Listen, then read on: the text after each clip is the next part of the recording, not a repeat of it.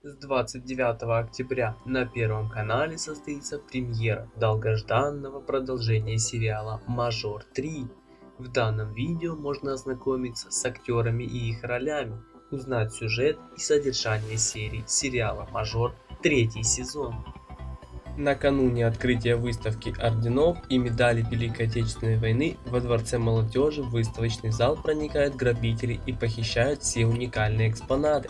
Награды принадлежали пожилым людям, которые добровольно предоставили их для участия в экспозиции. Одну из них, слепую пожилую женщину Тамару Львовну Амосову, внучка которой убиралась в ночь перед ограблением на выставке, отпрашивают Соколовский и Родионова, однако рассказ Тамары Львовны вызывает больше вопросов, чем ответов. Всем спасибо за просмотр, подписывайтесь на канал, ставьте лайки, комментируйте видео.